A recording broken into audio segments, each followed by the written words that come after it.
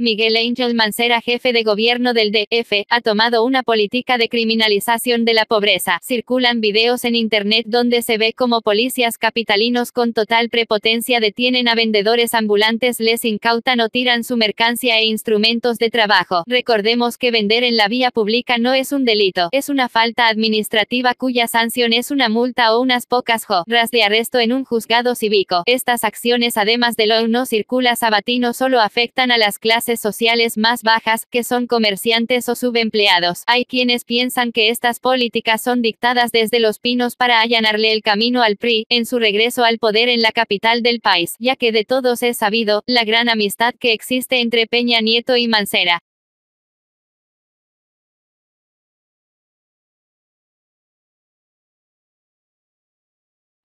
Vean cómo esta gente trabaja. Esta es su forma de trabajar de los llamados lobos.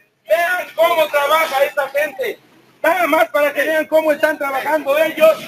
Y este es un llamado de atención para la